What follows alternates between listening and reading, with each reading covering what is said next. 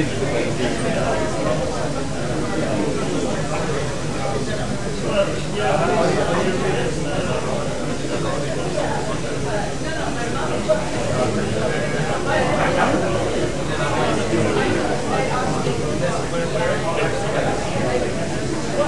ready go?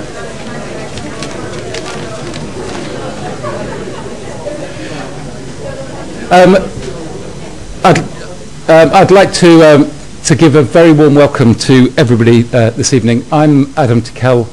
I'm the, uh, the new Vice Chancellor of the University, and um, it's a huge pleasure for me to be able to welcome you all here uh, to celebrate the uh, professorial lecture um, of David Tal.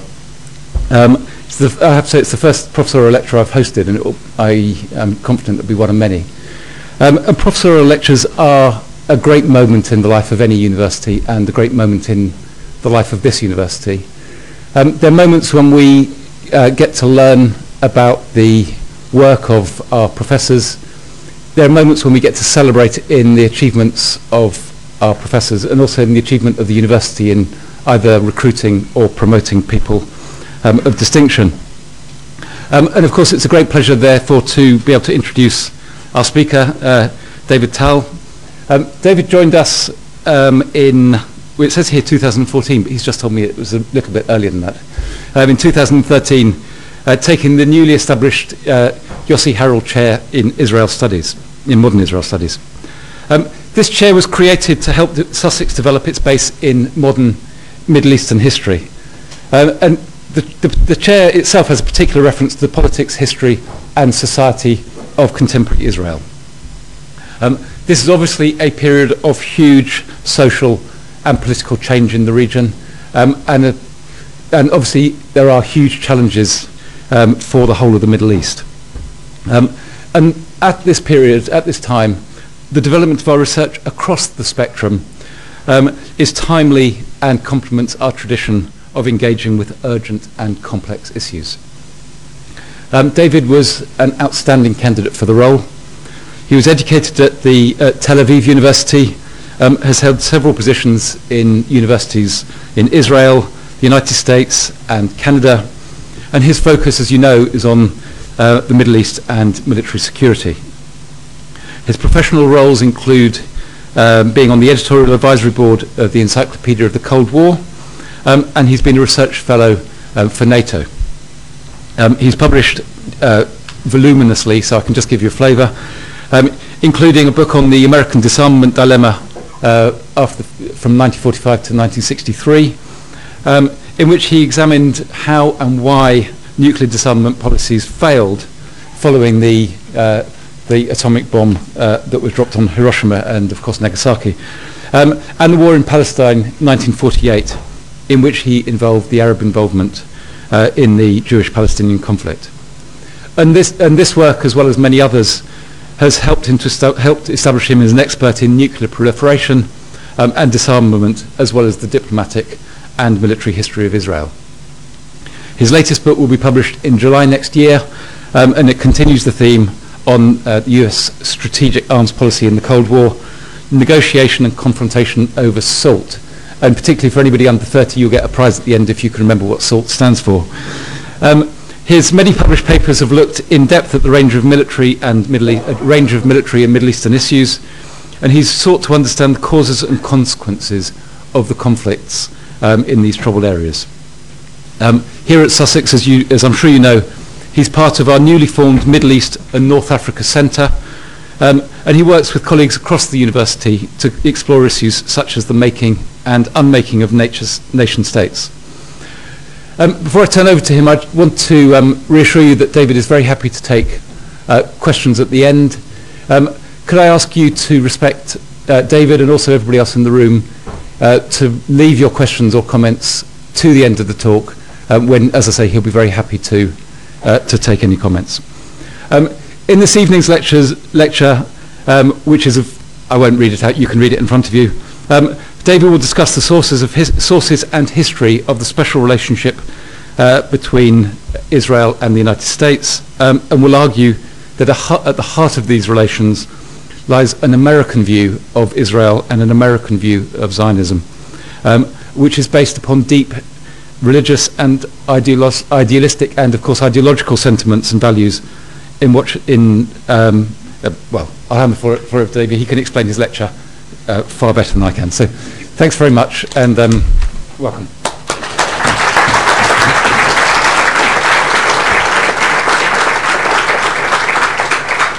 Uh, thank you very much, Adam. Thank you very much, uh, colleagues, friends, uh, for uh, joining uh, really to this um, very well for me as it was the first professorial talk for Adam.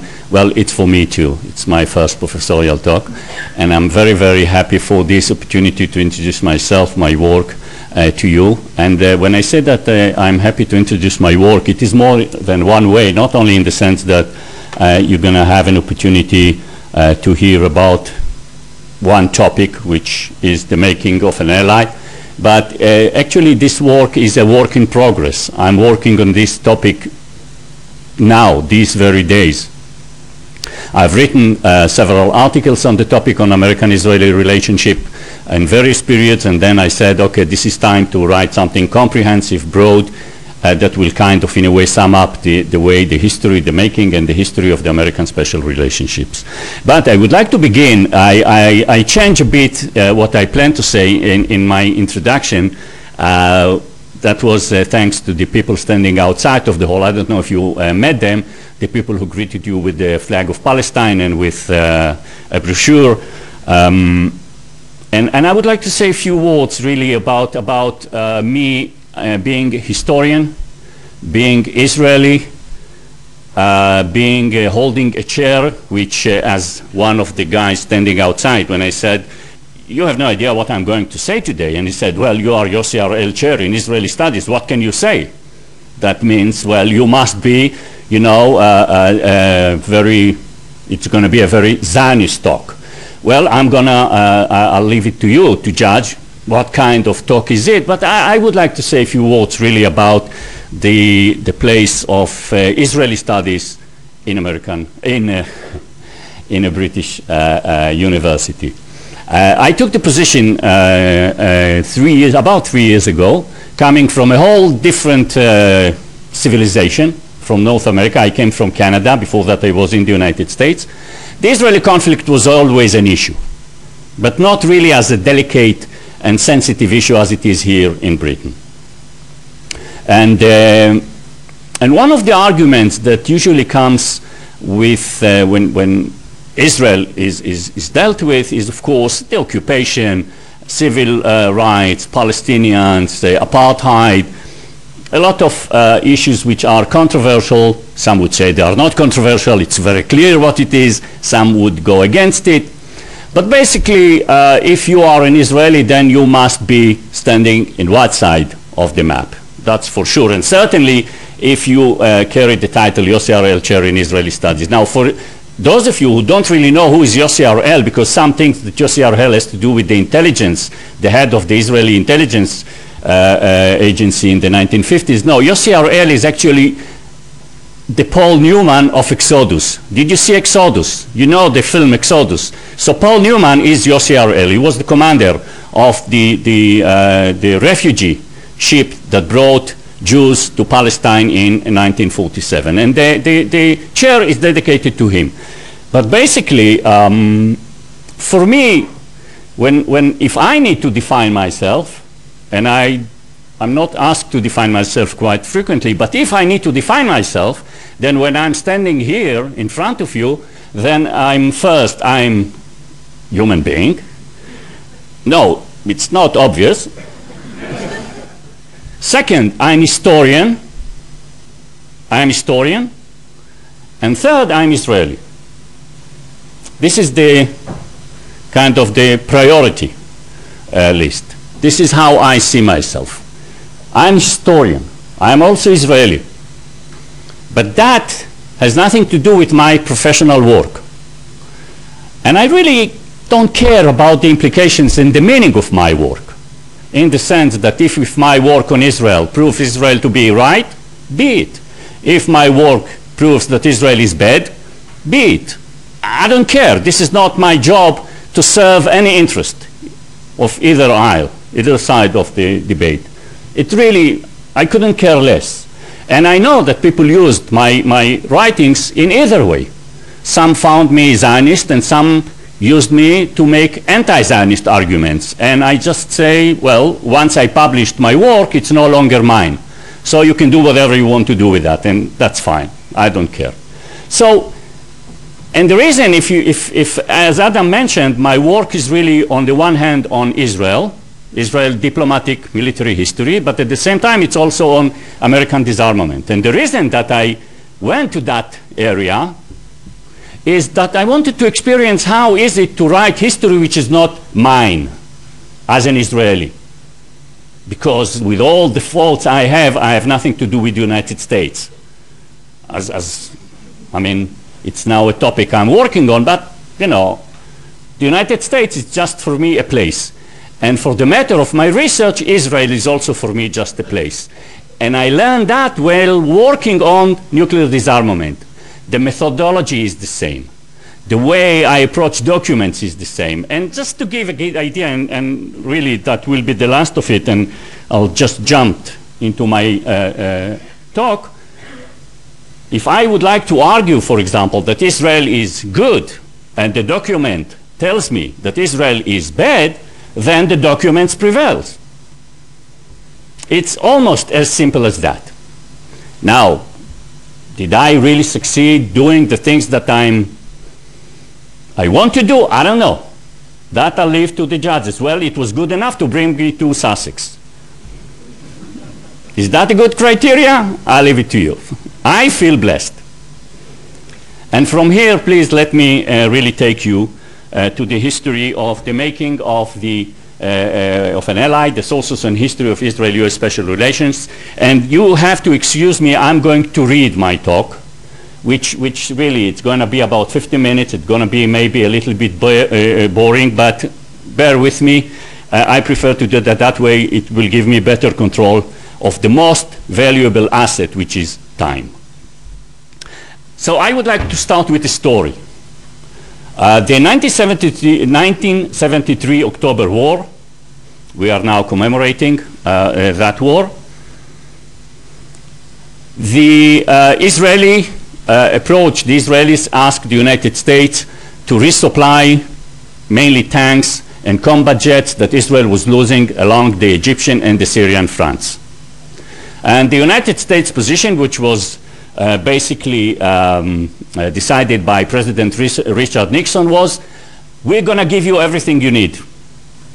The Americans told the Israelis, we give you everything you need, but we will do that only after the war is over, because we don't want to take a side in that war. This is a war between Israel, Egypt, and Syria. We don't want to be perceived as taking side in that war.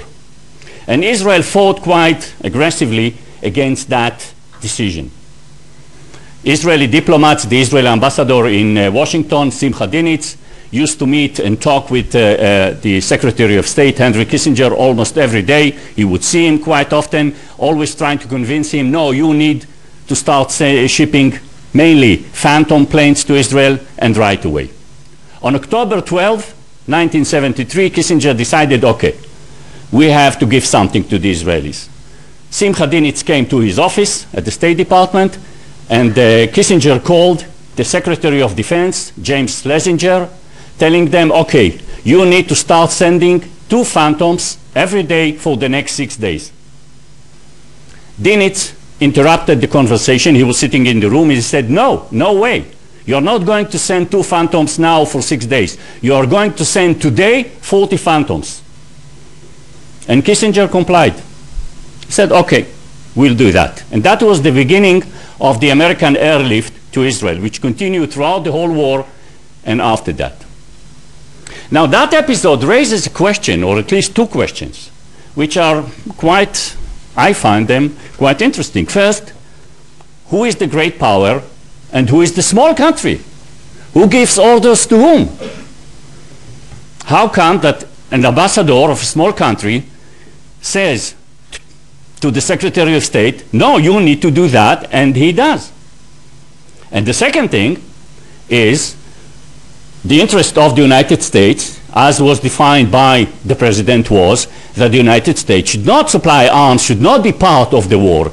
So here, the Secretary of State, of course, under the permission of the President, take an act that basically played against what the United States defined as their national interest.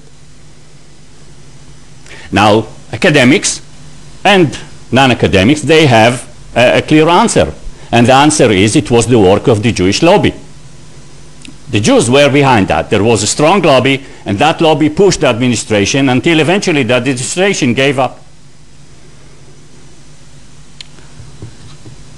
I won't go too much into detail over that question of the place of the Jewish lobby in the making of, uh, uh, of, of, policy. But before that, I would like to remind, or to, now it's a problem. No, it's not. About 11 years before that, in 1962, President Kennedy made that comment when he spoke with the Israeli Foreign Minister Golda Meir. So in 1962, John F. Kennedy defined the relationship between Israel and the United States as special relations. Was that also the work of the Jewish lobby?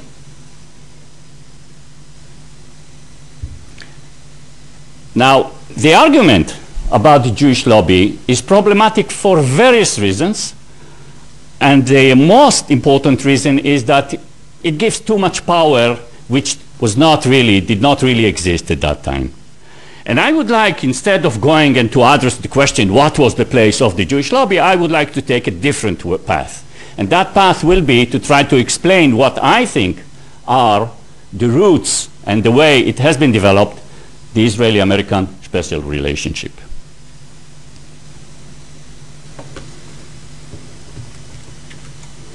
And in order to do that, I would like to introduce a broader anal analysis of the sources and history of the Israeli-American relations. Based on both Israeli and American documents, usually the literature on the Israeli-American relationship are based on American sources only. So the research basically is very, very America-centric. And I would like to expand the scope and the, uh, uh, uh, and the framework of the study on American-Israeli relationship, so I'm using Israeli and American sources. And I would like to argue that the American-Israeli relationship has been developed as a process of mutuality. I will outline the religious, ideological, and historical premises upon which those relations were based, and I will show how those premises allowed constant interaction between the two governments. Those premises created, on the one hand, strong commitment on the part of the United States to help the Zionist movement and Israel to achieve their aspirations and to secure Israel's existence. And on the other hand, made American presidents and administrations receptive to Zionist and Israeli statesmen and diplomats and allowed the creation of a constant dialogue between American and Zionist and Israelis.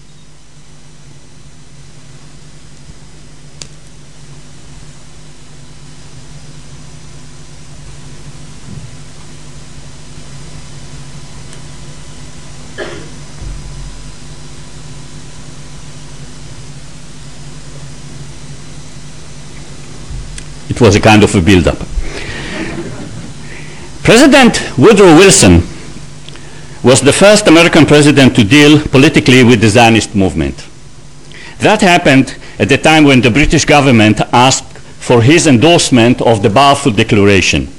After a lengthy process in which American Jewish Zionists were involved, most known among them President Wilson's just, a friend, Justice Louis uh, Brandeis, President Wilson granted his support to the declaration. The reasons for his decision were a mixture of religion and idealism. Woodrow Wilson grew up in a religious family. He was a keen and devoted reader of the Bible, and his religious devotion led him to articulate deep Christian sentiment favoring the fulfillment of the biblical prophecy. In 1912, he likened the Jewish longing to their homeland to the spiritual feeling that motivated European immigrants to come to unknown America. With that, Wilson tied himself to a tradition that went back to the 17th century and to the Puritans that left mainly England and came to the New World. The rhetoric the Puritans used was biblical. They referred to themselves as the chosen people, singled out by God to be an example for all nations, just like biblical Israel. However, when they claimed that they were New Israel, the Puritans and those who followed them did not mean that the Jews ended up the role in history, a common thought among Catholic Christians and also among Protestants.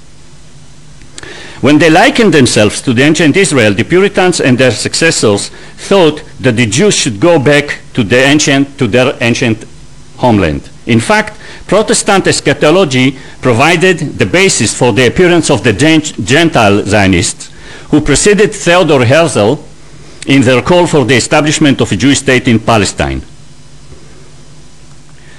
From the very first settlers, explained historian Hilton Obenzinger, belief in Jewish restoration was endemic to American culture. The call was and still is based on two major undercurrents existing among the evangelical Protestant Americans the, the, dispens the dispensational premillennialists and the inerrancy of the Bible. According to the dispens dispensational premillennialism, the time when God would gather the Jewish exiles and would bring them back to their homeland in Palestine was near. The Jewish return would usher an sorry, eschatological process that would lead to the return of Jesus Christ and his thousand year reign.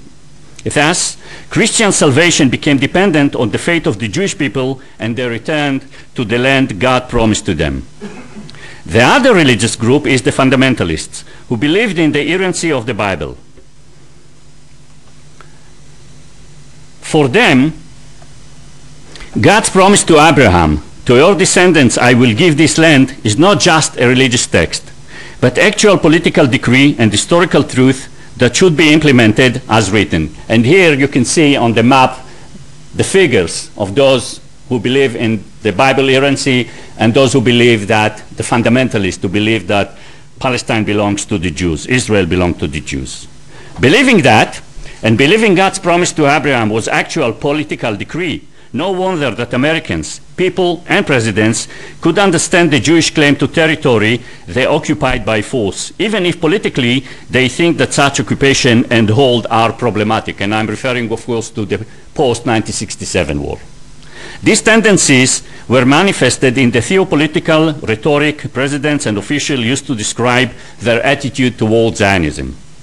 Expressing his pride in the role he played in the publication of the Balfour Declaration, President Wilson said in wonder, to think that I, the son of the man's, would be able to help to restore the Holy Land to its people. Four centuries later, in November 1953, President Harry Truman was invited to a Jewish to the Jewish Theological Seminar in New York to meet a group of Jewish dignitaries. His old friend Eddie Jacobson introduced him to the, uh, to the audience. This is the man who helped to create the state of Israel. And this is Truman's response. He is Cyrus. President Jimmy Carter, who at a certain point became a critic of Israel, wrote in his memories, I consider this homeland for the Jews to be incompatible, to be incompatible uh, with the teaching of the Bible. It might be worth mentioning here that throughout the 19th century, and the first half of the 20th century, most of the evangelical Christians believed that the return of the Jews to their land should be God's work, a way of thinking identical to that of Orthodox Jews.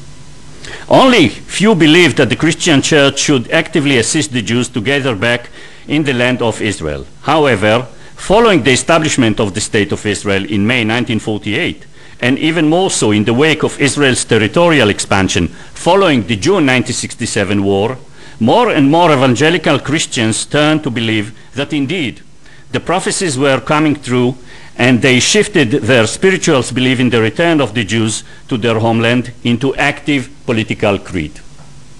Wilson's response for the Jewish homeland derived from also his ideas about self-determination and the power of democracy. Those ideas were not disconnected from his religion, religious education, combined with the political events unfolded in the wake of the First World War. Drawing for his Calvinist doctrine of equal opportunities, which was in the heart of the American evangelism, Wilson believed that essentially all men were capable of self-government. His church, the self-rule Presbyterian Church, provided him with an apparent evidence of that ability. In his politics, or theopolitics, Wilson represented and helped to advance the cause of liberalism and republicanism, which led to the creation of a foreign policy that emphasized individual rights and liberties, with democracy embodying these rights. This is evident from the following statement President Wilson made. And I'm not going to read the whole paragraph, you can read it. The Zionists use that rhetoric in their diplomatic campaigns. They offer to build a national home for the Jews in Palestine and to substitute the tyrannical Ottoman rule with the liberal democracy messages that fit well into Wilson's new diplomacy, as well as his vision regarding the right of self-determination for national groups and the kind of political regime and constitution they should build for themselves. Truman's advisors repeated this theme about three decades later during an argument that took place in the White House between the US Secretary of State George Marshall and President Truman's political advisor Clifford Clark over the question whether the United States should grant recognition to Israel after it declared independence. Marshall, who was against granting recognition, argued that the State of Israel would destabilize the Middle East, while Clark argued that, on the contrary, a democratic Jewish state would be a stabilizing element.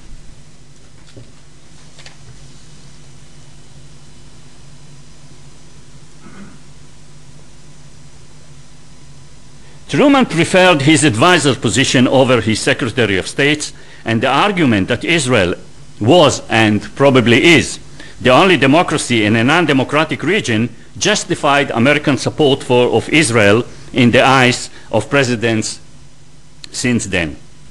American presidents justified their support of Israel also because it was a legitimate member of the international community, whose establishment was sanctioned first by the League of Nations and then reiterated by the United Nations November 1947 partition resolution. When he debated whether to grant recognition to the state of Israel, to the state declared on May 15, 1948, Truman considered this as a promise that should be kept, just as all promises made by responsible civilized governments should be kept. The legitimacy of Israel and its right to, secure to a secure existence were fundamental themes that American officials, from the president down the ladder, reiterated throughout the years. Jewish history was also was another argument justifying the American strong attachment to Israel. During the 19th century, mainline American Protestants felt guilty for the Christianity's historical treatment of the Jews and the unspeakable cruelties they had suffered at the hands of European Christians for hundreds of years. President Eisenhower, who is considered as the less as the less friendly president to Israel, wrote in his diary in early 1956 following an announcement that Egypt had received a large amount of modern combat jets and tanks from Czechoslovakia. Quote, Israel has a very strong position in the heart and emotions of the Western world because of its tragic suffer of the tra tragic suffering of the Jews throughout 2,500 years of history. The Holocaust only strengthened that sentiment. This was a sensitive issue mainly among mainline Protestants because of the intellectual leadership the German Protestant Church provided to the American Protestant Church. The passive support of the German Protestant Church and its followers of the Nazi rule deeply shocked American Protestants. In 1942, in the middle of the Second World War, a group of Protestants established the Christian Council on Palestine with Reinhold Niebuhr as one of its members. The group's purpose was to arouse Christian concern and actions in light of Hitler's persecution of the Jews and to draw the attention to Palestine as the only available refuge for the Jews. President Truman was, of course, and this is quotation from his saying, horrified by the Holocaust, and President Jimmy Carter stated that memories of the Holocaust are still alive. Ronald Reagan was also committed. The Holocaust, I believe, left Americans with moral responsibility to ensure that what had happened to the Jews under Hitler never happens again.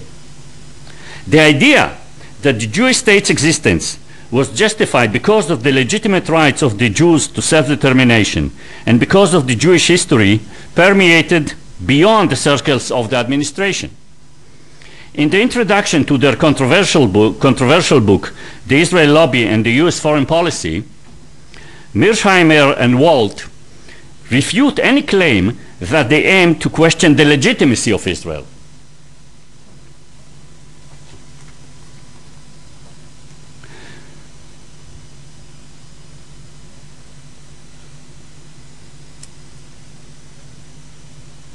Israeli leaders, on their part, did not hesitate using the Holocaust as a reminder and the reason for the United States to support Israel. David Ben Gurion would reiterate this theme time and again in his contacts with various American presidents. On one occasion, in a letter he sent to President John F. Kennedy in June 1962, Ben Gurion justified Israel's request for arms in the following argument. And I would like to emphasize one argument here, which you can read. What was done to six million of our brethren 20 years ago could be done to the two million Jews of Israel if, God forbid, the IDF are defeated. And I would like to emphasize that because the thought, and we will see that uh, uh, later on again, the thought is not only that the existence of the state of Israel is in risk, it is the people of Israel who are under the threat of annihilation.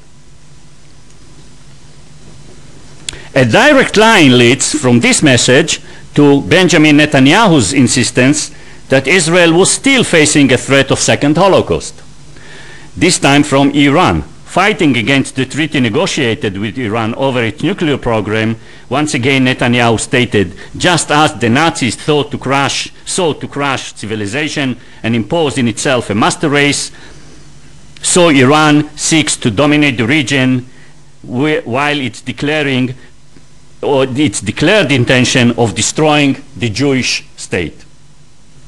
These arguments did find a chord in American hearts. Religion, value, and history seem to put the United States on a predetermined course in its attitude toward Israel. But can we say the same thing about Israel's association with the United States? Was it only natural for Israel to seek a special relationship with the United States, or was it a matter of convenience and expediency, with Israel wishing to rely on the strongest power in the world? The truth of the matter is that unlike the nature of American foreign policy, the Zionist and Israel's foreign policy was more pragmatic and realistic than ideological. From the very first date of its existence, the Zionist leaders attributed high importance to the support of a great power in the Zionist project. Herzl tried and failed to recruit the Ottoman Empire and later, later the German Kaiser to the Zionist cause. The Zionists were more successful in their attempts to recruit Britain one major result of that was, of course, the Balfour Declaration. And later, when it was given mandate over Palestine, the British practically acted to carry out the obligation they made in the Balfour Declaration. However, the British chapter in the history of the Zionist movement ended in May, in May 1939, when the British government published a white paper that set very strict limits on the immigration of Jews to Palestine and limited significantly the ability of Jews in Palestine to purchase lands mainly from Arabs. The Zionist movement sought now a new ally, and the natural alternative was the United States. David Ben Gurion, the head of the Jewish community in Palestine during the years of the mandate, and Israel's first prime minister, was well familiar with the United States. He visited the United States for the first time in May 1915, during which he met Paula Monbez, who became his wife. This first visit was followed by many others. During his visits, Ben Gurion used to spend a lot of time at the New York Public Library, reading extensively about the history of the United States, its political system, and particularly how policy was shaped in that most developed and democratic of nations, quote unquote. This is from Ben Gurion's diary. Throughout his observation and study, Ben Gurion came to appreciate both the American people and the American institutions. He saw a resemblance between the Zionists and the American pioneers and admired what those pioneers had achieved. However, for Ben Gurion, the more important, the more significant lesson and experience was the American political system, which gave power to public opinion. Ben Gurion was especially impressed by the way American Irish had managed during the 1920s to become a pressure group that mobilized American public opinion and gained America's support for independent Irish state. The Jews should do the same, he thought, for Israel. The free speech, free thought, free press, free communication, so abundant in the United States, argued Ben Gurion, made it the most viable place for Zionists to mobilize the masses, Jews as well as non-Jews, toward their cause. In an address he delivered in, October, in August 1951 to, the, to an American Zionist organization, he described the role he expected the American Jews to play in advocating Israel. Zionists to live in free and democratic countries should help Israel.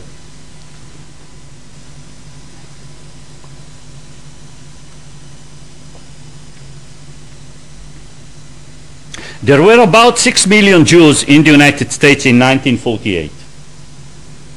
Small percentage within the total of the American population, but their cohesiveness and organization made them a political power to reckon with. Such as some, such as Mearsheimer and Walt, even blame that they got excessive influence over US foreign policy.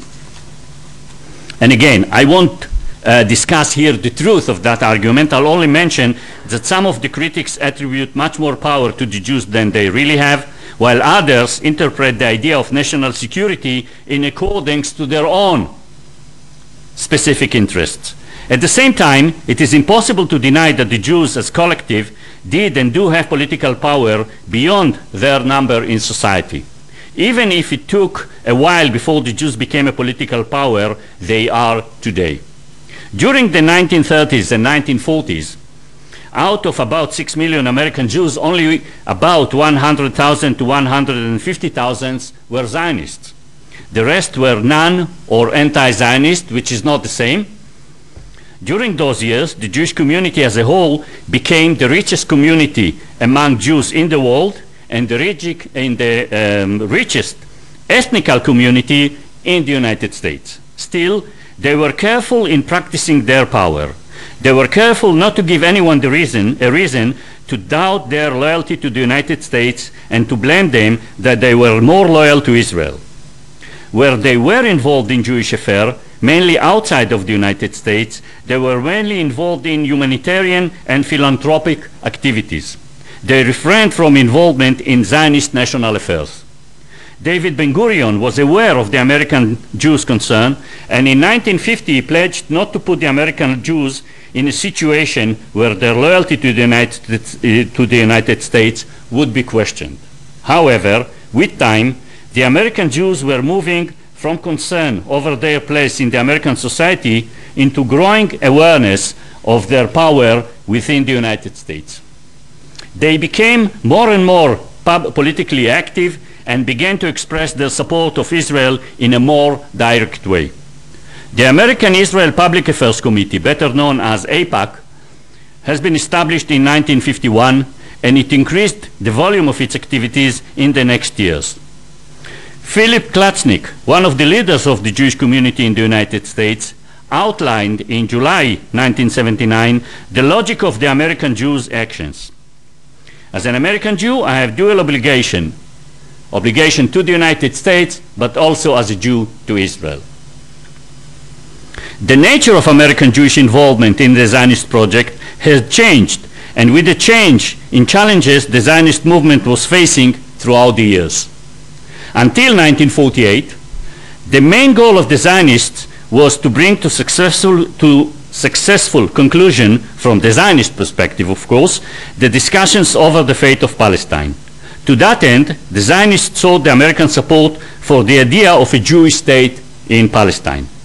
The American Jews took part in the campaign toward that end, and along with religion, ideas, and history, the Zionist diplomats and the American Jews were instrumental in President Truman's decision to support the partition resolution, and six months later, after the establishment of the State of Israel, to Truman's quick announcement recognizing the State of Israel. When the diplomatic campaign was over, the Zionist movement faced new challenge, the need to ensure the survival of the new State of Israel. With that, Israeli expectations from the United States had changed. More than diplomatic support, the Israelis expected mili military assistance, and the American Jews helped Israel to achieve that goal. Despite the victory in the 1948 war, or maybe because of it, Ben Gurion and his generation believed that Jewish state and people were still in great danger. Israel, small in size and population, geostrategically vulnerable, was surrounded by still hostile neighbors who, so believed the Israeli leaders and people, were determined to take a revenge of their defeat in the 1948 war. It was a given to Ben Gurion and the people of Israel at the time that a second round of hostilities between Israel and its neighbors was in inevitable and imminent. Israel was strong enough at that point, the years immediately after the war, to defeat such an attack. However, Ben Gurion argued that while the Arabs could sustain an unlimited number of defeats, for Israel, the first defeat will be the last one. Ben Gurion was convinced that the Arab goal in such a war would not be to occupy Israel, but also to annihilate the Jewish people in Israel. Making some concluding remarks about the 1948 war, Ben Gurion said the following, and once again emphasizing the threat not only to the Jewish state, but to the Jewish people. Ben Gurion's conclusion was that in the light, in light of the still looming imminent existence threat facing it, Israel must be strong, and it would be strong only if it could be morally, economically, technologically, scientifically, educationally, and militarily superior to its neighbors. One major mean to ensure Israel's existence would be forging an alliance with a great power and securing unobstructed access to a major arms supplier. The almost natural target would be the United States, for the reasons I mentioned before. That wish to make the United States Israel's major arms supplier was both a mean and an end. Israel wanted arms that would allow it to meet the imminent Arab attack, but no less important, Ben Gurion and those around him assumed that an American agreement to provide arms to Israel would be also a sign of American commitment to Israel's security, which was Israel's ultimate goal. The Israelis were right in principle assuming that the United States would stand by Israel. As odd as it may sound, there was and still is an asymmetry in the Israel-American relations, but not the one that you would immediately think about. The asymmetry is not between a great superpower to a tiny country. The asymmetry is between a nation that feels intellectual, religious, and even moral bond and commitment to the other. There is asymmetry between the actual size and power of the one as compared to the other and the deep commitment the great power felt toward the tiny country. Religious values and history led presidents and the American people to accept the Israeli narrative as their place as to their place in history, as to their belonging and ties to the land of Israel, and more concretely, as to the meaning and nature of the Arab-Israeli conflict. After all, they were part of the story that called for the restoration of the Jewish state, and they were actively involved in the process that made that happening. And so, nearly 70 years after the establishment of the State of Israel, in the eulogy he delivered at Shimon Peres' funeral just recently, President Barack Obama could describe the post-1948 period in words that resembled those used by Ben Gurion at the time.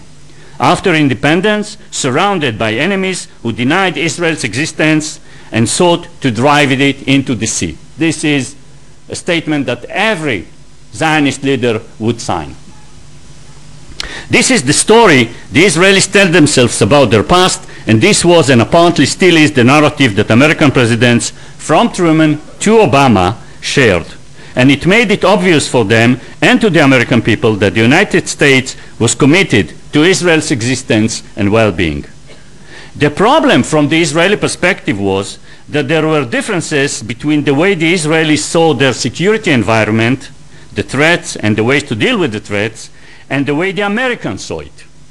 To some extent, a large part of the history of the Israel-American relations is the story of the Israeli attempts to close that gap between the way they understood their environment and the way the Americans understood it. Every American president, from Truman to Obama, tried to find a balance between Israel's security needs, as he understood it, and the American regional and sometimes world interests. Whenever they could, the Americans would give priority to their regional and world interests. However, when Israel's security seems to be under major threat, the Americans would give a priority over their would give that priority over their regional interests. So the Israeli main task during the years during the years was to close the gap. And they had to fight it and to go through a process of to accomplish two things. One was to convince the Americans that they were under grave danger and they needed arms, and to convince the Americans that doing so would serve better American interests than relying on the Arab countries. The gap between the way Israel understood its strategic situation and the way the Americans saw it was the widest during Israel's first decade of existence. During those years, with the Cold War raging on, the United States' prime concern in the Middle East was to keep it within the Western sphere and to prevent the entry of the Soviet Union into the region. Hence, the Truman and Eisenhower administrations refrained from taking actions that would alienate the Arab states, mostly refraining from being viewed as blatant pro-Israeli. That meant, among other things, rejecting the Israeli requests for arms and security guarantees. And so, the Truman and Eisenhower administrations limited their support to Israel to the most needed economic assistance, and even that had been given as part of American international aid program and not directly as an aid to Israel.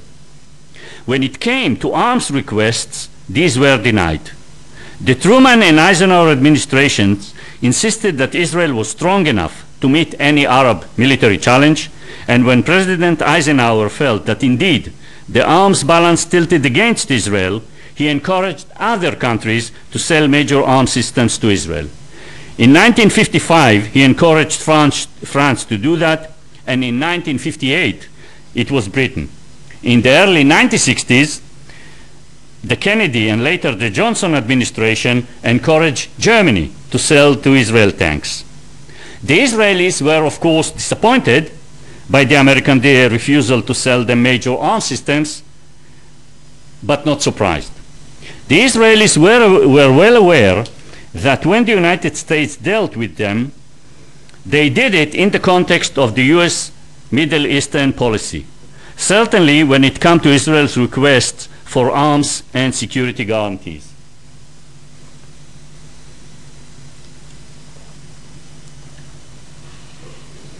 Israel's foreign minister phrased it concisely in 1950.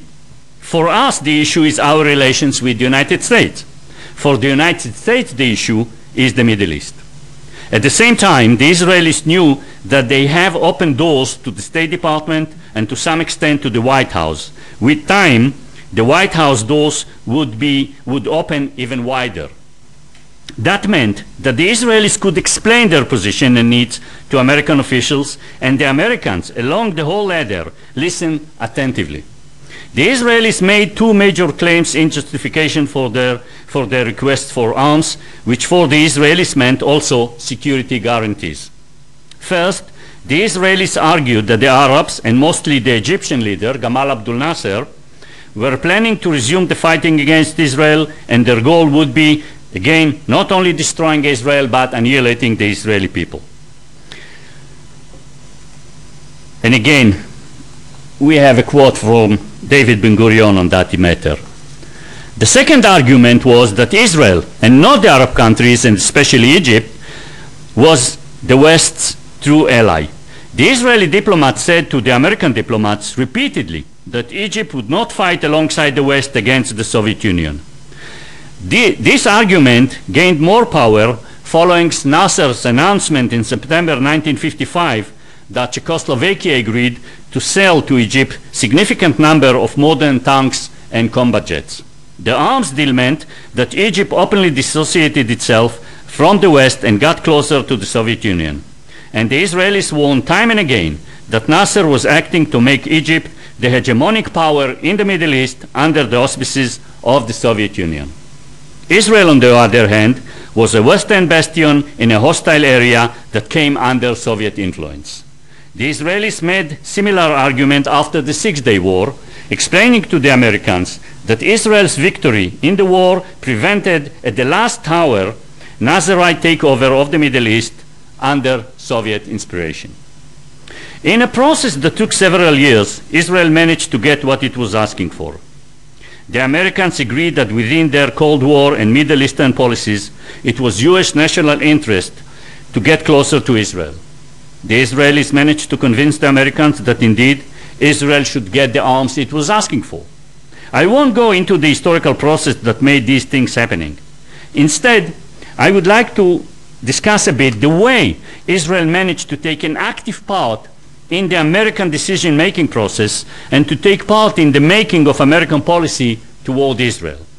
It did so by having constant dialogue with the Americans and by using the impact and influence of two groups, the Jews and Protestants. As I mentioned earlier, American Jews acted more and more to have impact on American policy toward Israel.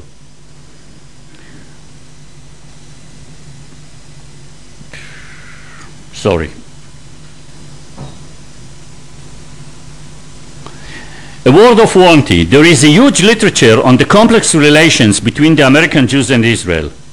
Arguments over the meaning of diaspora and Zionism, the occupation and settlement as against the return to ancestral inheritance, Israel's Orthodox Judaism as against the reform and conservative forms of Judaism.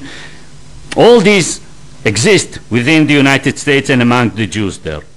But it is still possible to speak about a significant number of Jews who, despite arguments and controversies, stood and still stand by Israel and speak on her behalf.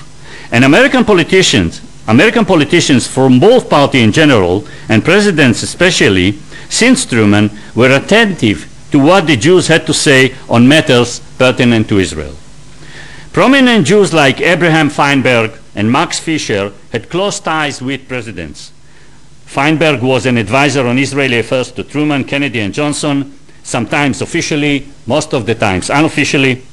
Fisher worked for about 40 years with American presidents on Jewish and Israeli issues. His strongest connection was with President Richard Nixon. Both Feinberg and Fisher had strong connections with Israel and served as liaisons for both countries. Israel diplomats deliver through American Jews messages regarding issues that matter to Israel or ask the Jews to exert pressure on the members of the administration either directly or through their congressional representatives when necessary. Many petitions presented by members of Congress or the public in favor of Israel were initiated by Israeli diplomats in Washington. More than that, as Jeremi Suri has shown in his study on Henry Kissinger, American Jews climbed along the ladder within the government, holding high rank positions in the State Department and the White House. They worked, of course, for the American government and were no less loyal to the United States than their non Jews peers.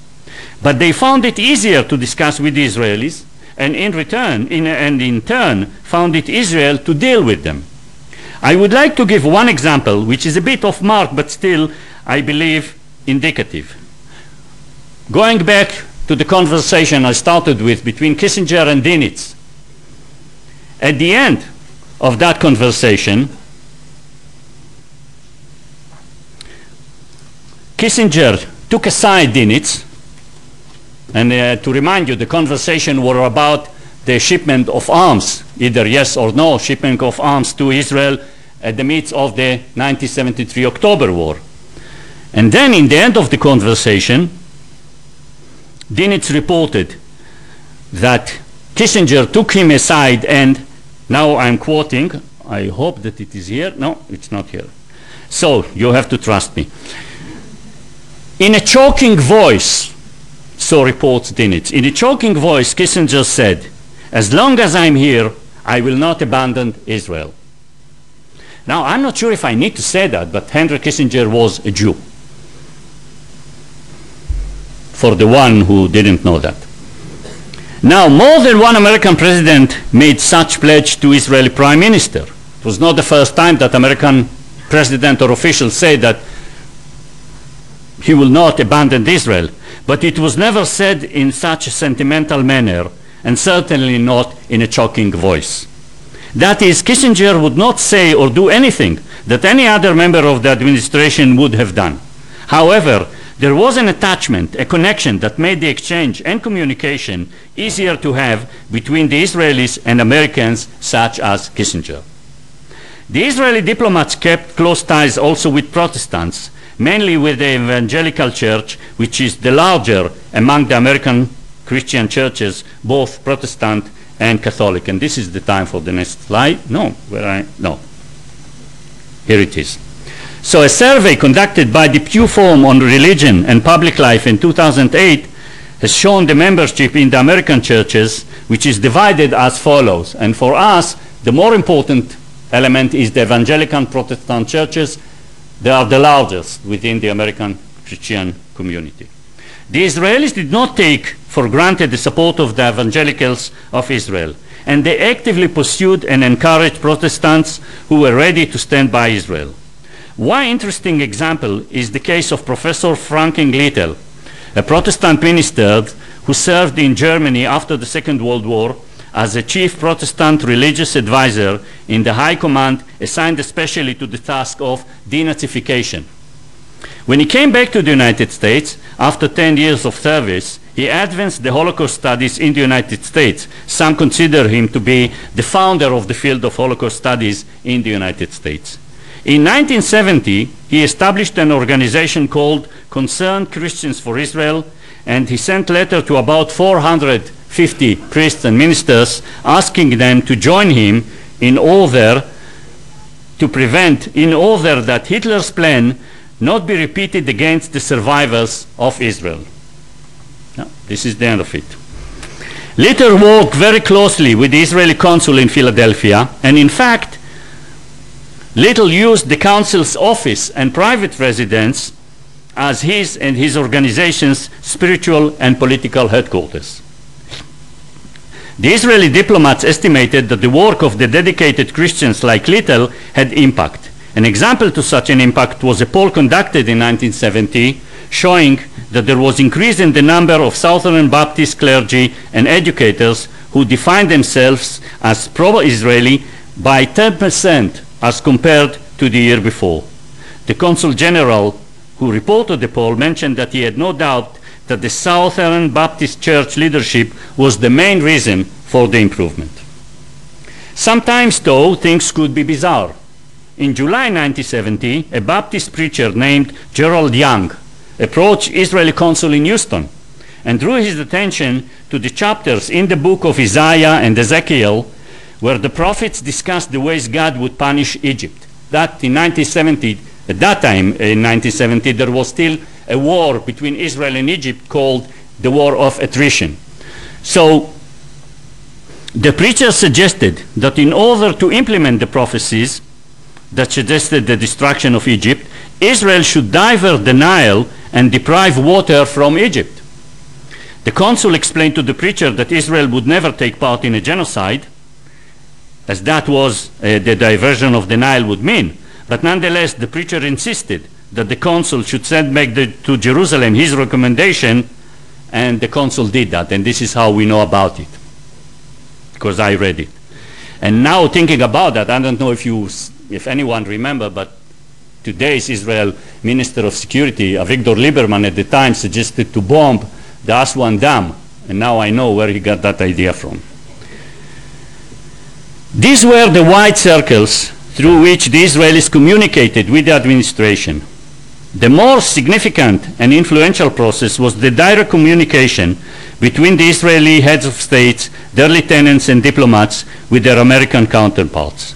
It is almost obvious that the American ambassador in Israel would have open access to everyone he wished to speak with in Israel, from the prime minister all the way down the ladder. But the Israeli ambassador in Washington also had open doors to various members of the administration in various levels, and he always found a ready to listen ear. The story with which I started my presentation tells it all, in a way. In a nutshell, this is how the Israeli American special relationships look like. Israeli and American high ranking officials talked with each other with no hindrance. They would listen to each other, allowing the other to convince them and when American interests clashed with what the Israelis assumed was their national security interests, the Americans would wait one against the other. And when they accepted, and where they accepted the Israeli claims, they would subdue American interests in favor of Israel's security needs. Policy had been made in, not only in Washington. It was a mutual process where the voices and interests of both countries were considered and measured. Religious, religion, ideals, and history were the three pillars and bedrocks upon which the interests were weighted, and dialogue would flourish. The interests of each country not always aligned, but they were superseded by the constants, or at least became a matter of discussions and negotiations, which Israel and the United States could have in such an intimate manner. Does it all mean that the American-Israeli relations will continue to remain special also in the future? Probably. Why thing, one thing I can promise you, if that won't be the case, I will be able to explain that too. Thank you very much.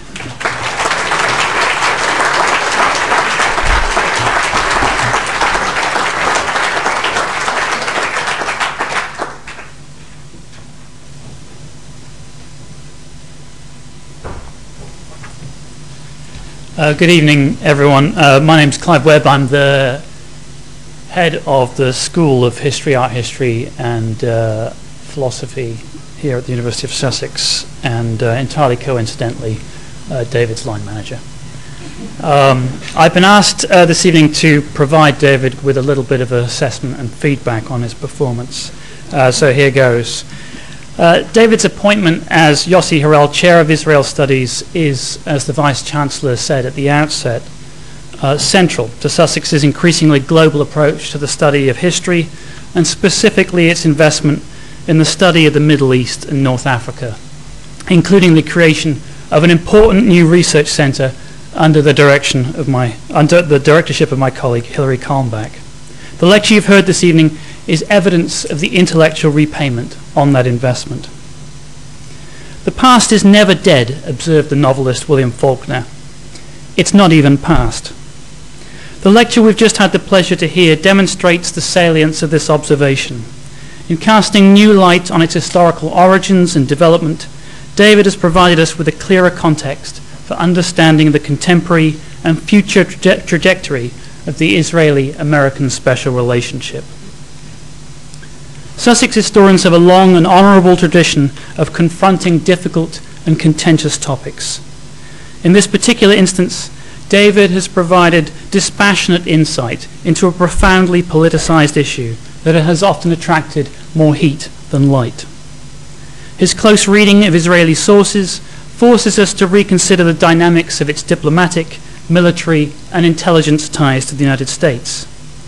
As David observes, in a line of analysis consistent with recent academic literature on US foreign policy, the United States supports Israel not only out of strategic self interest, but also out of deep-rooted historical and cultural affinities. Predominantly secular European scholars of the United States are often neglectful of the religious impulses that inform American thought, culture, and public policy, particularly in the arena of international relations. And David's lecture, I think, is an important corrective to that. For even further corroboration uh, of his thesis that the religious thought of Americans has been a defining uh, force in shaping the Israeli US special relationship, he could even look further beyond uh, conventional diplomatic sources to US popular culture.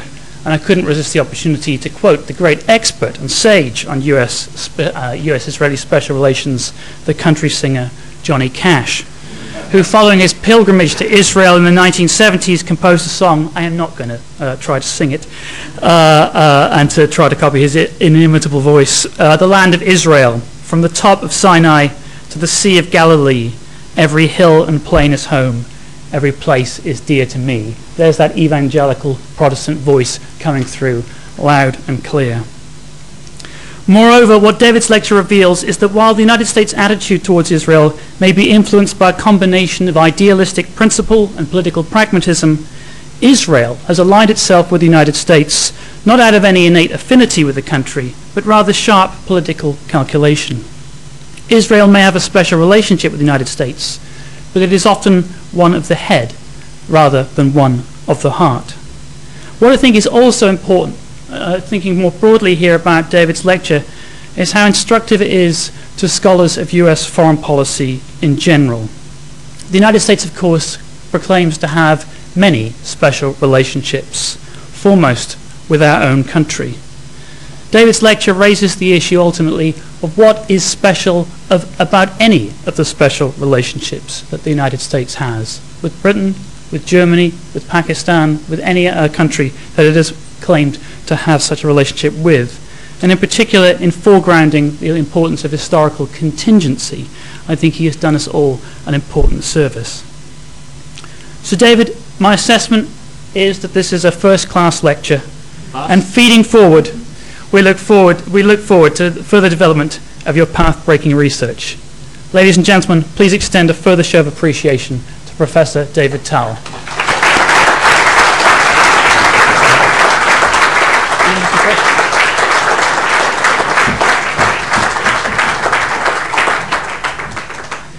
That's it. I can die now. I mean, yeah. I, I, I don't know exactly how time how, how much time do we have. Well, the only thing that um, is standing between people in a glass of wine is the number of questions you get Here you have. So, yeah. Uh, thank you very much for coming to talk to us. Uh, it was very instructive. I'm intrigued by this emphasis on the Judeo-Christian links that Israel has, in particular on the emphasis on the evangelical Protestant churches. Many of these often small churches have uh, a kind of fundamentalist view about the Jews in Israel where they envisage a sort of final battle in which the Jews have the option of being converted by them or being destroyed. I'm slightly puzzled as to why we get the Judeo-Christian being pushed so much. And that is the backdrop to a lot of the fundamentalist Christian beliefs. Yeah, no, yeah, it's it's just uh, when I was uh, um, young, I think, yeah, I was working on my PhD dissertation. I uh, visited the Truman Library at the Independence, Missouri, and I was staying, I was then student, so I, I well, it was the kind of the, that time uh, uh, Airbnb. I, I was uh, staying uh, at the house of a guy who was a farmer, a very good Christian. And, and we were talking, and he expressed his, his support and sympathy to Israel based on his Christianity. And I explained to him how his Christianity basically aimed to, well, destroy me. But still, we had very nice conversations. But, but uh, there are two things about that. First, uh, the, the premillennialists, dispensationalists, who are those who held that vision, they are relatively the minority within the evangelical community because there are also the fundamentalists, those who believe in the inerrancy of the Bible. That is, they took it as literally saying the land of Israel belongs to the Jews. This is what God said to Abraham. So that's it, without too much thinking. And second, and this I say as a secular, I'm ready to wait to that point when Jesus will come, and uh, that's fine. So that goes, that goes with the point, no, that goes with the point that Clive made that emphasized the, the realistic approach of, of Israel, the real realpolitik approach that says, you are ready to support us now. Okay, we will go with that. And, and when Jesus Christ will come, we'll deal with that then. Thank you very much. Yeah. Is it not so that um, you, told, us about the 40 pound from Jessica that was sold to Israel as opposed to four? Was that due to the fact that maybe Israel could possibly use atomic weapons at that time and if that was against the war? And was that the sort of thing? The, the, the- yeah, this is, this is the argument, this is the argument that, uh, that is made from time to time. That is that the United States agreed to give Israel the, the phantoms and all the weapons in order to prevent a nuclear strike by Israel. Uh, and that uh, claim is made mainly by people who didn't really read the documents. Because in the documents there is no mention at all to that option. Absolutely. And all the and we have a lot, a lot. It's kind of the problem is not to get documents about the exchanges between Israel and the United States on that subject. The problem is not to get drawn by these documents. There are so many. So so we know and I can tell kind of, you know, there might some paper will pop up and, and will change the picture, but from what we have and we got plenty, the nuclear thing was completely not on the table. I think maybe we could just take one more question. and then, Yeah. David's still going to be. Yeah, I'll, I'll be here. Questions, outside. Uh, Does the attack on the US facility during the Six-Day War um, by Israel hold any negative significance in the special relationship? Is it just a blip? No, it was it. Yeah, no, no, it, it, it didn't really have an effect. I mean, on, on broad in broad uh, picture of things. No, it, it you know the story is, is about the during the Six Day War, Israel attacked by mistake uh, an American intelligence ship called Liberty, which was uh, uh, kind of uh, shipping around the shores of Israel and Egypt. Uh, and it was almost immediately, from the very beginning, it was clear that it was a mistake. And Israel made it very clear in the very beginning, uh, when it happened, when it became clear what happened, Israel immediately reported to the uh, American embassy in Tel Aviv and then again in Washington and immediately said, look, we give you an access to all the information we have. So no, it didn't really have an impact on, on the relationship between the two states. Well, thank you very much. Thank you all.